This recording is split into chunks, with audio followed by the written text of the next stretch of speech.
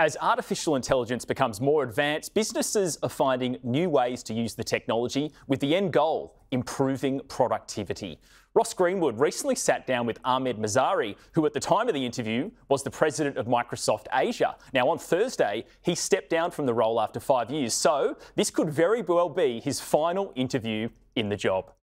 AI has been one of the most pivotal technology shifts that we've seen probably over the last hundred years, and I might roll back into electricity all the way into uh, computing. What, bigger than mobile phones? Bigger than the internet? We think of this actually as a general purpose technology, pro probably like electricity. Uh, there's not uh, uh a technology that I could say in the last 50 years that has the parallels to be as pervasive as AI. What, so, so AI and electricity, you're putting the two of those as breakthroughs for productivity, for the way in which we do things in the future. You're putting them in the same basket. I am because I'm energized by the possibilities. You could use AI in, uh, in a school. Uh, you could use AI in an operating theater for medical reasons. You could use AI to determine the risk of a financial portfolio. You could use AI to determine rock formation. Uh, you could de uh, determine new minerals. Uh, an example, um, we actually worked with uh, the Pacific Northwest uh, Energy Board to create a new low lithium battery with 70% lower content. But the starting point was using AI, which found 32 million possibilities of a molecule. That can only happen with AI. Okay, so Take me about the barriers to rolling out this AI. Is it people's imagination? Is it actually the physical constraints of trying to build the data centres that can hold all of that intelligence? Is it the fact that we don't have enough data to feed the AI machines? What is it? I think the answer could be all of the above, but let me probably step back and think about the role that us and governments would play in the evolution of this technology and making it more pervasive and, and adapt, adaptable. Energy we have to work with governments and ensure that we created new sources of green energy because we're committed to having a better planet. I mean, we have a commitment that by 2030 we will be carbon neutral and will be water neutral. Okay, but can I stop you there and say that to have AI, you've got to have massive data centres that are going to gobble up even more electricity, more energy into the future. So where does that energy come from? That energy will come from different sources. Um, let's look at the work that we're doing with the government here in Australia. The, the Walla Walla thermal uh, ability to create sun power into energy is a big one. It's a 15-year commitment that will help us decarbonize our own data centers. We are seeing governments uh, across, uh, at least the, the remit that I have, which is Asia Pacific, leaning on into new research. We therefore see a fundamental shift that needs to be made on how we think about moving away towards sources of energy that are not in your backyard. And therefore, how do we solve for battery? Battery will become critical to this because how do you store energy that is created in the middle of Australia and transport it to Sydney?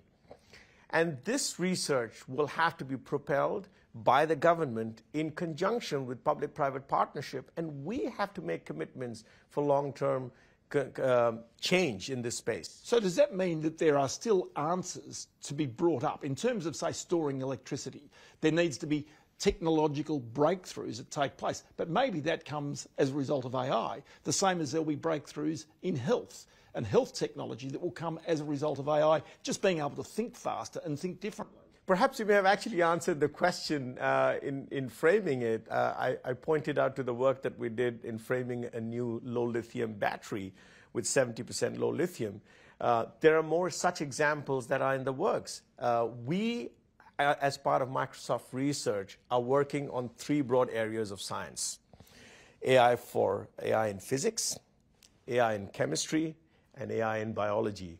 And in all three dimensions, we see that AI will play a role where our ability to create economic progress and productivity will get accelerated. Okay, in the past, the people who hold the technology, Microsoft being a classic, end up getting the riches as a result of that technology. One thing you've talked about is the democratization of artificial intelligence. And it is true to say that a person now living in the middle of Australia or the middle of Bangladesh, if they have mobile, if they have internet, if they have an ability to supply the world with information, they can create a business. Is this the way in which you see AI could also democratise even our economies across the world? I might answer that in two parts if that's okay. Uh, let me start with this point of how can somebody that's sitting in rural Australia, rural India, rural China make a difference? I'll give you an example in India. Um, we may not be familiar, but even today, 88% of global languages are not served by AI. 88, that's 1.2 billion people. So with a startup in India, and the startup is called Karya, we're actually working to create tokens for a local language. Now, the lady that who I've actually met, who creates those tokens, is making five times more than minimum wage. So there are two, two things there. One, you're creating economic enablement and bringing people into the workforce. Two, you're creating inclusive technology by bringing a language that is not traditionally served by AI today. And therefore, those two attributes give us the opportunity to create more democratization, as you pointed out at the start. So then take me to another aspect of this because you, as a business, are trying to you know, distribute artificial intelligence in a responsible manner, but you're also trying to make money. You're a business. And so, how do you balance those two issues? Having on one side the public good, but having on the other side the fact that Microsoft clearly wants to be a leader in this area, not only from its standing, but also from the profits it makes?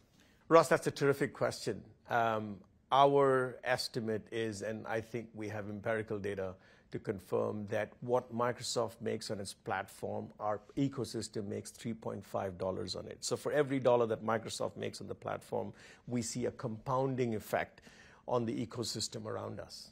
So, in other words, it's those who are using the platform who are actually generating more and making more. Another one for you, and that is if all of a sudden all this technology improves productivity, or it should prove improving productivity. Why is it in major Western countries right now, including Australia, productivity is going nowhere? It seems that people are working harder and doing more, but they are achieving almost zero productivity despite all of this incredible technology.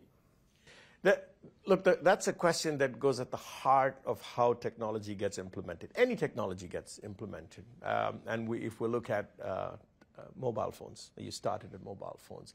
Mobile phones has been uh, with us for the last 20 years, but it's literally the last five where acceleration has happened in the use of mobile phones, where in apps that create the economic value that sit on the mobile phone.